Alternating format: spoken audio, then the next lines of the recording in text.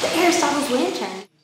A complex system of muscles attached to five teeth-like structures that allows an urchin to scrape delicious algae off of rocky surfaces. I wonder what it would be like if we had one.